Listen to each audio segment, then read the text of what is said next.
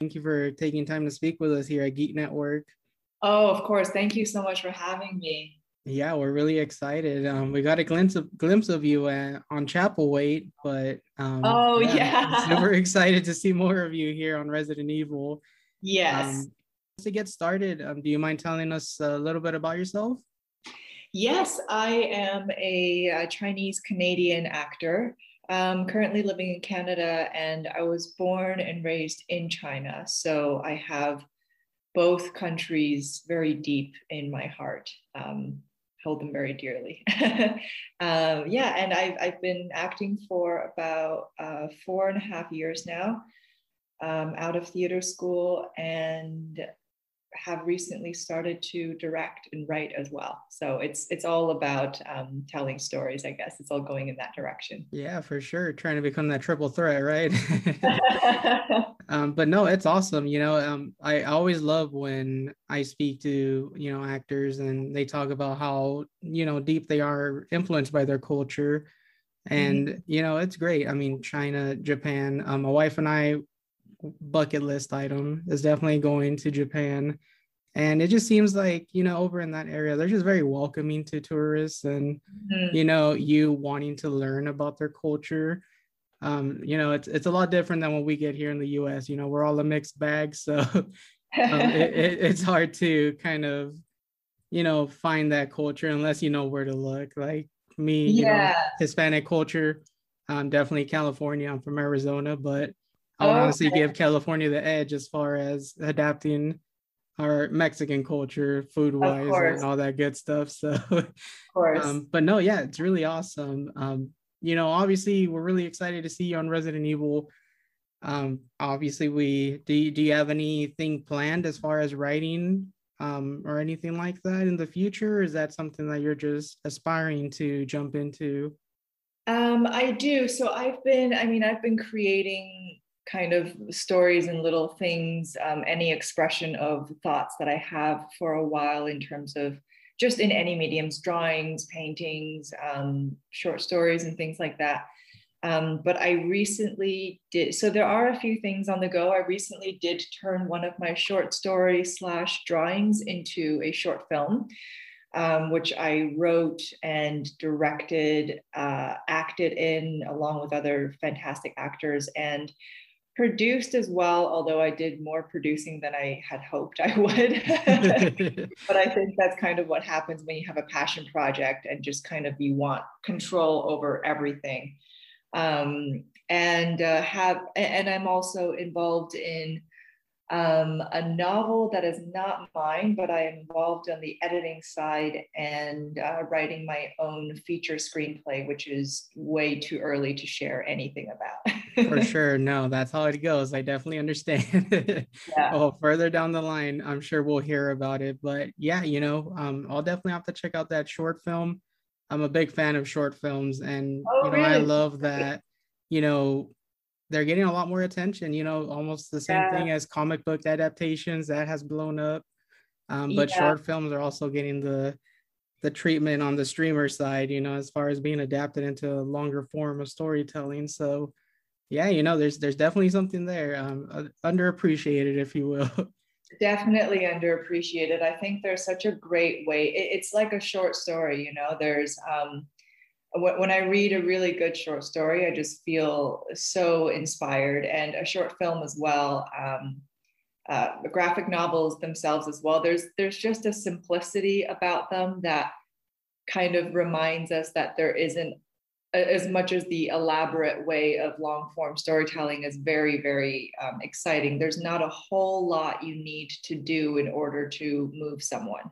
Exactly, and you know yeah. it it takes a an extra it's an extra challenge to you know captivate an audience with such a limited time as well so you yeah. know there there really isn't room for errors you know opposed to like a two and a half hour movie or anything like that so yeah there's a lot more forgiving moments there. exactly um, but you know talking about short stories um definitely want to talk about welcome to raccoon city but um, yeah um, you had a, a very you know, your role was limited, but your character's role in Chapelwaite was, you know, it resonated throughout the entire series. You know, your your character was a, a pivotal role and throughout the entire family all yeah. the way through the, to the end um, what can you yeah. tell us about being on the set and you know just being involved with the series uh, we loved it it was absolutely phenomenal oh that's so great to hear. I i really i really really liked it and i'm really happy with the way that they did it. Um, i thought casting was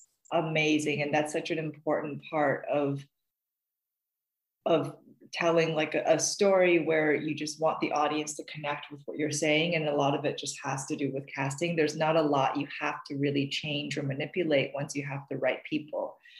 Um, but working on it was really really magical but also nerve wracking it was my first time on set after a very long lockdown. It was one of the first um, projects where you know they were kind of trying out this different zone by color quarantine and um, interaction system that they had.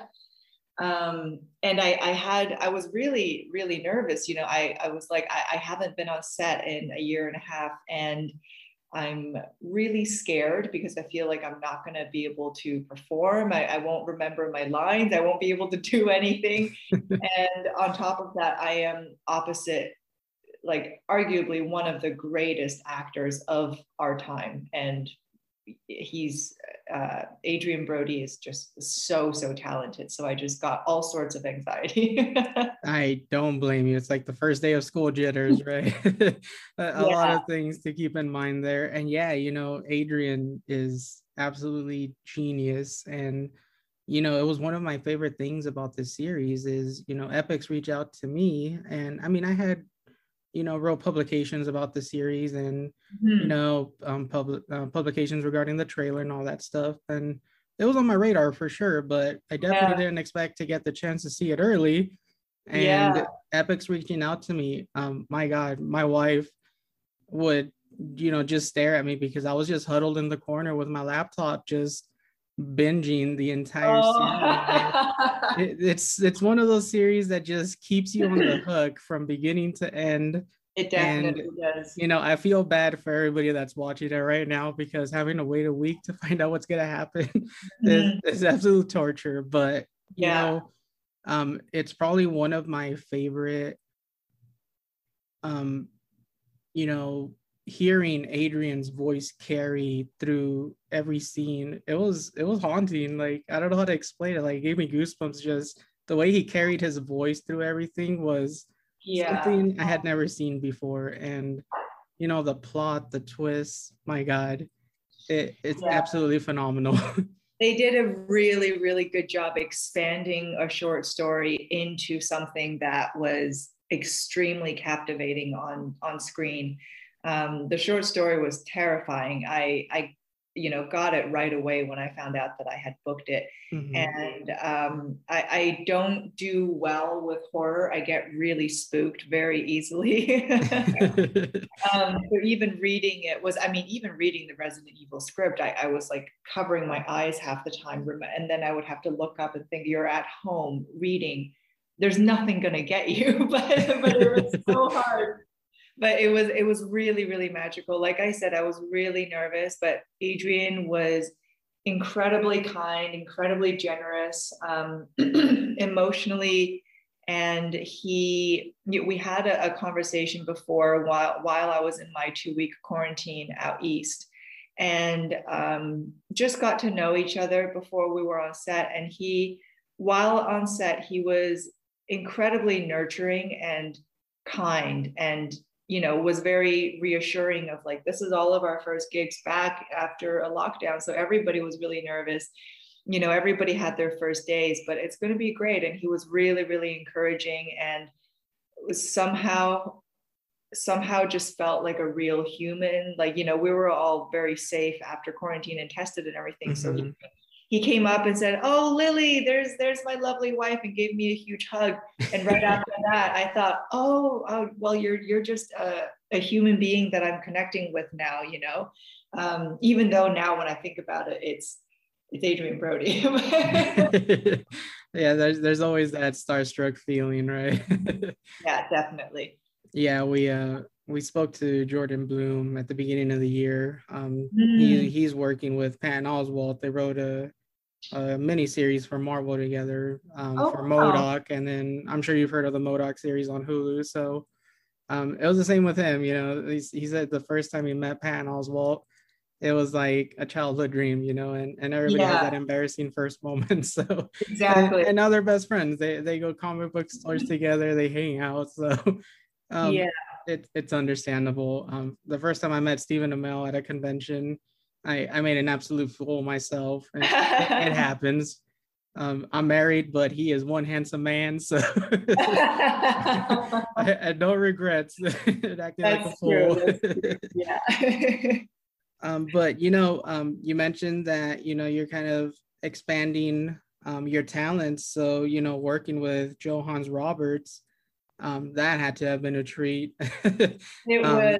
it know, really was. 40, 47 meters down is one of those films that it it doesn't it doesn't seem like something that would really captivate you the way it does when you're looking at something like the poster or the trailer but mm-hmm. being involved and you know even as an as the audience in that film the the level of anxiety that he you know built up for that film it, it was un, unreal and yeah know, well that's something that i'm really really excited for the audience of resident evil to see is is that it, you know if you're a fan of the game to really see how they've made this a true origin story of the game. But if you're even not a, a, fan of the game or just don't know much about the origin story, knowing that he is going to instill in you that very visceral feeling of what it was like to play the game and how terrifying it was.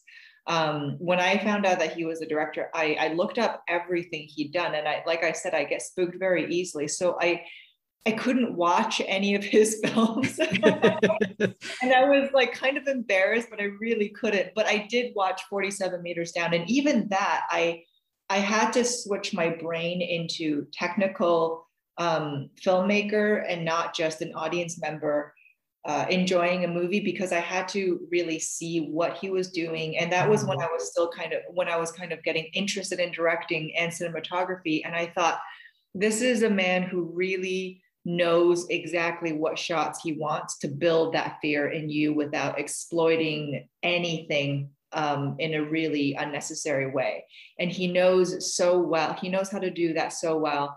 Um, that watching after watching that movie and seeing the budget that it was made for, I thought, okay, well, I, I totally understand where his brain is at.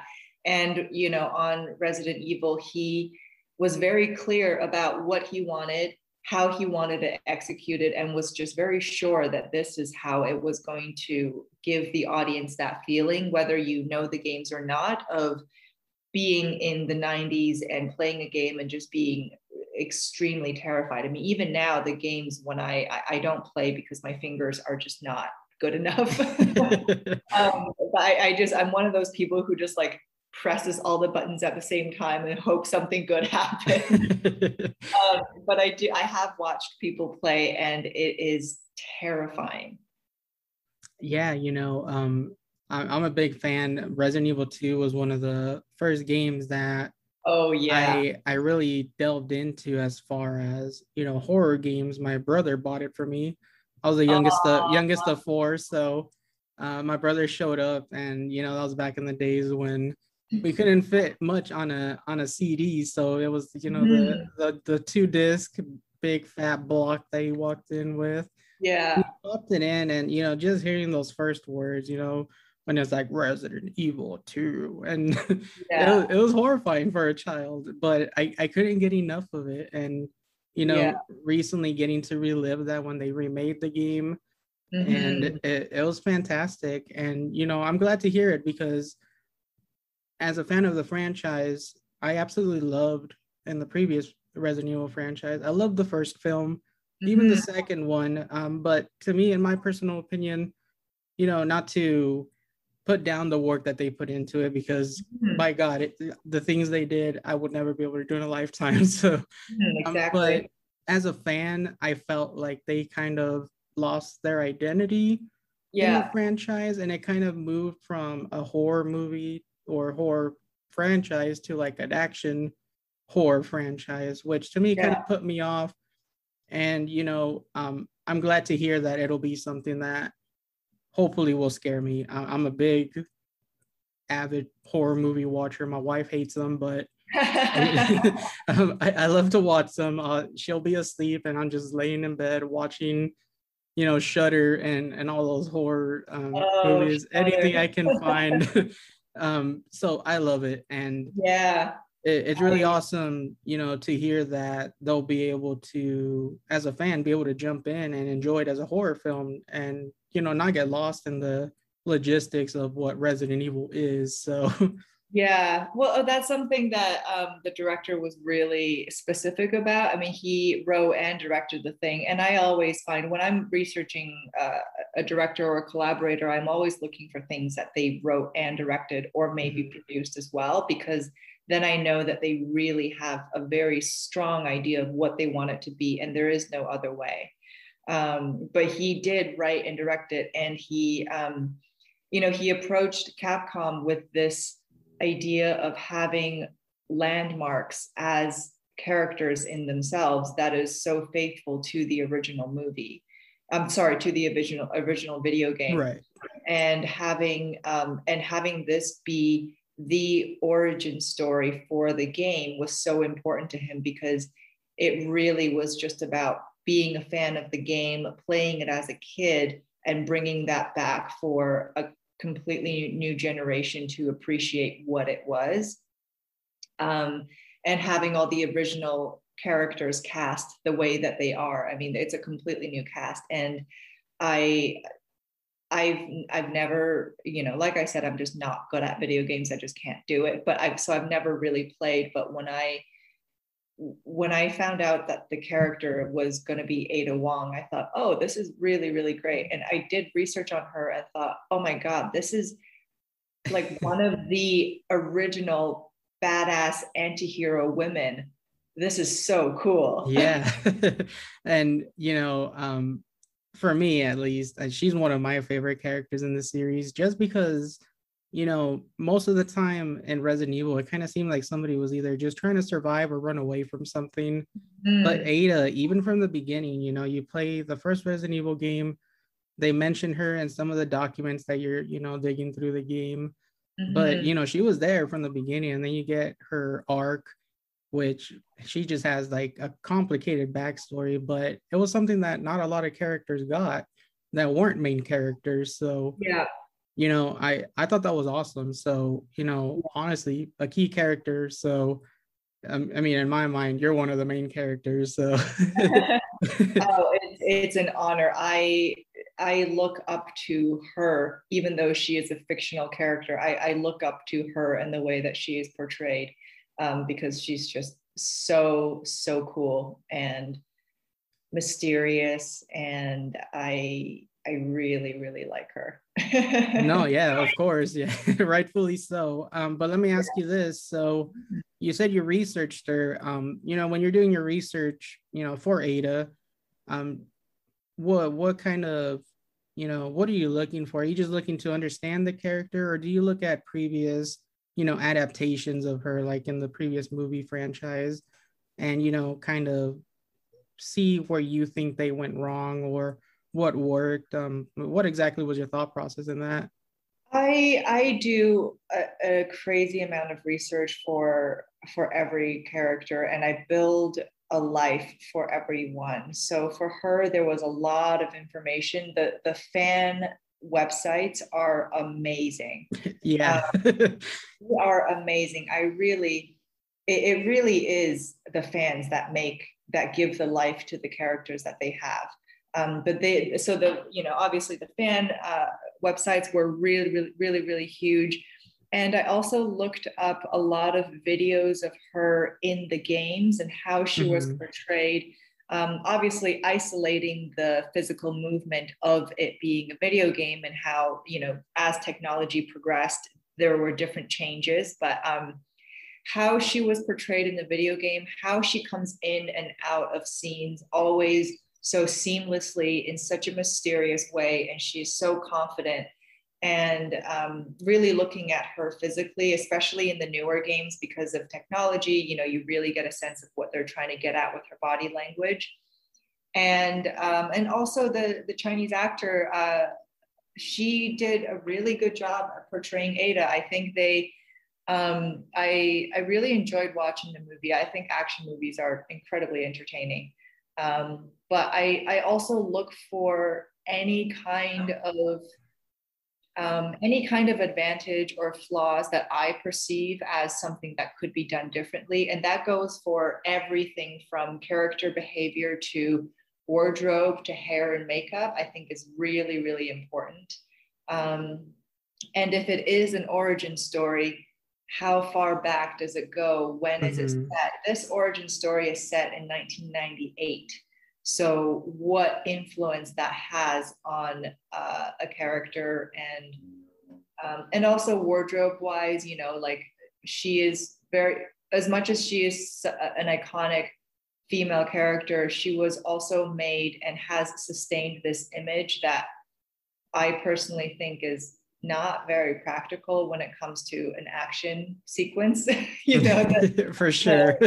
there, there is always going to be an over sexualization of women in action movies um, and that's that that's a whole conversation a separate conversation. I, I don't mm-hmm. really think it needs to change but i think it definitely can be um, adapted but seeing her wardrobe and everything in the earlier games and especially in that film with the uh, with the other chinese actor i thought hmm i i wonder what can be done to really ground her as a human but not take away from the things that make her ada wong and that the fans love so much about her. Like what's a realistic happy in between that we can work with? Right. Um, yeah because I, I think she is uh, is can be a realistic human and i think because this is the origin story that is kind of offering an opportunity for a huge new universe of this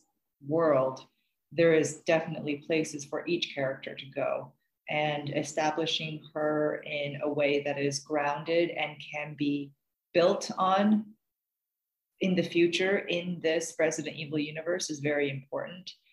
Um, but also the thing, adding a little bit of spirituality in here, I guess, is the stillness that she has about her that um, extends and lends itself to the confidence in any of her sequences and conversations is something that I connected to Taoism a lot, um, which may sound kind of uh, strange or irrelevant, but the the peace and stillness that is in Taoism and in the Chinese culture of Tai Chi in martial arts is really uh, has a lot of strength to it and is the basis for a lot of action sequences.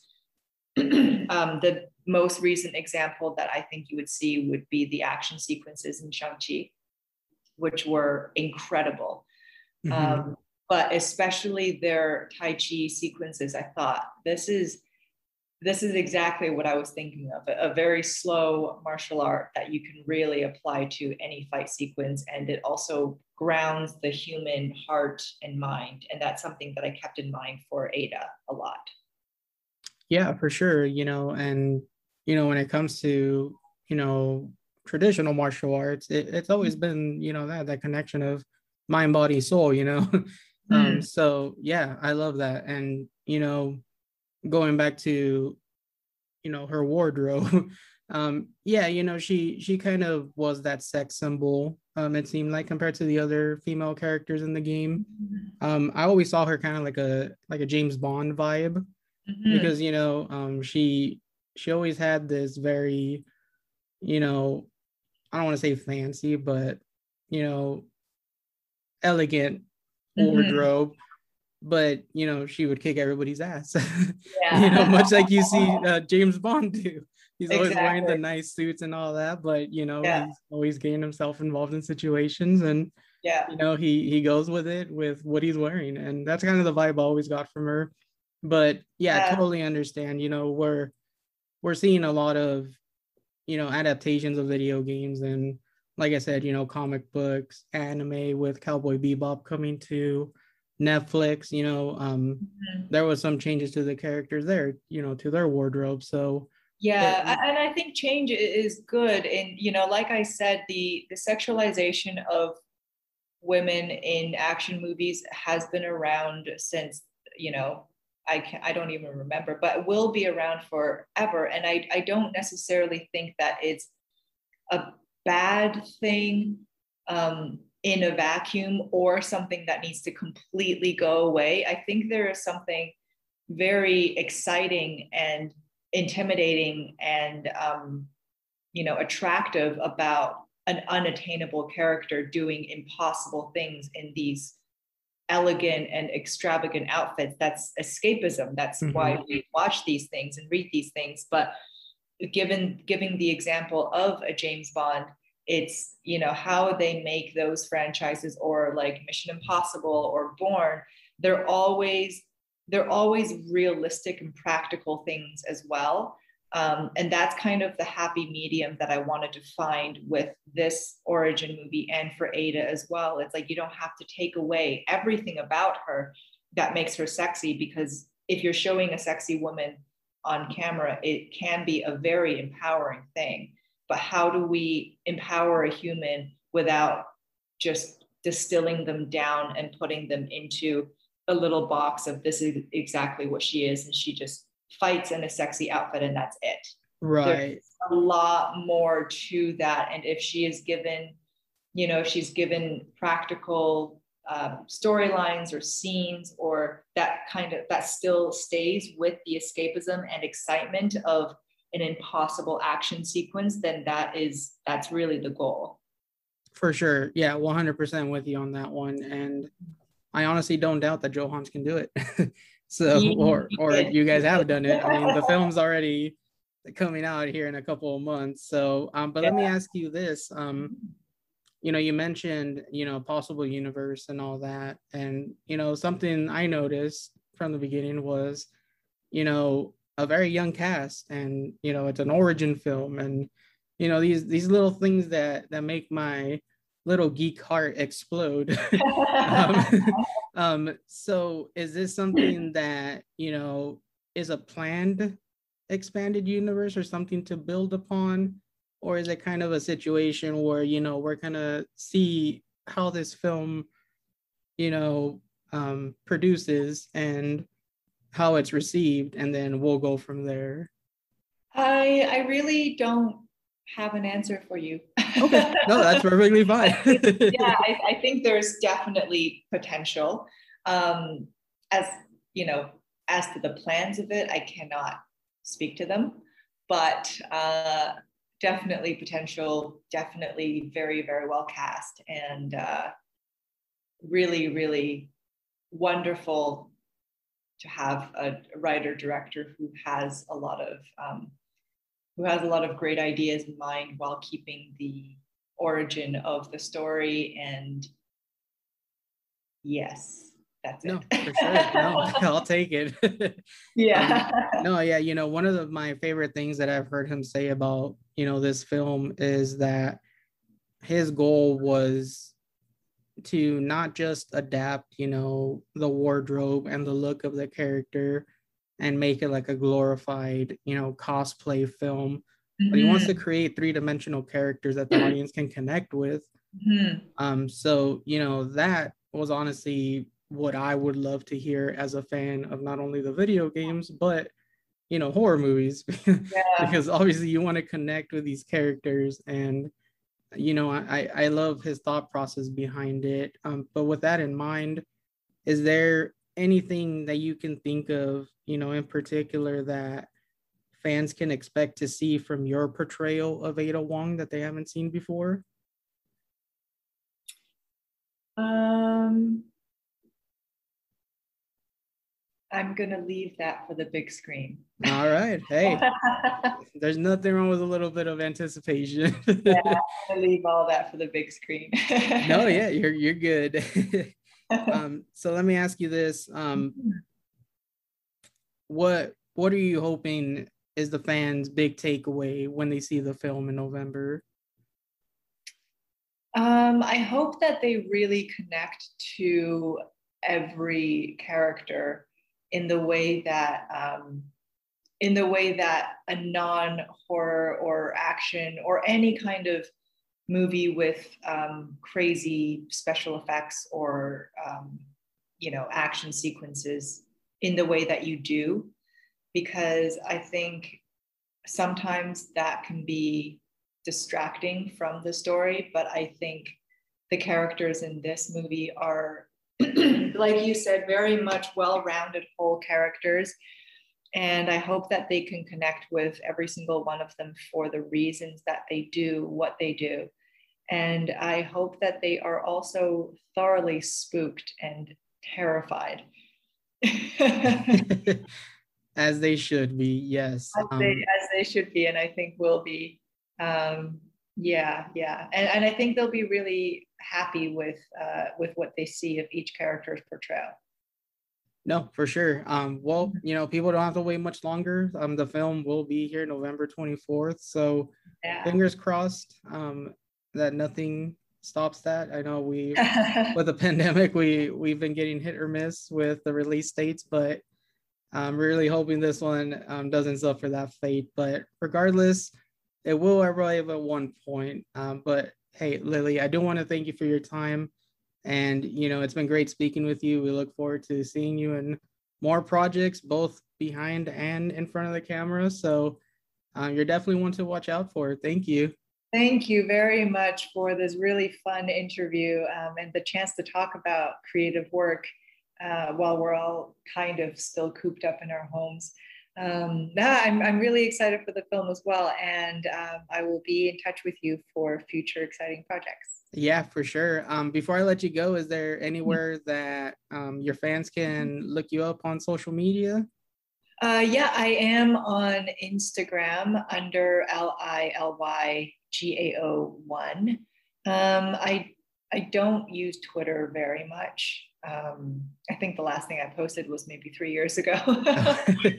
um, but yeah, that, that's about it. I, I'm not on Facebook or anything. So, hey, that works. Instagram is just basically Facebook with pictures. So you're good. well, hey, I really appreciate it. And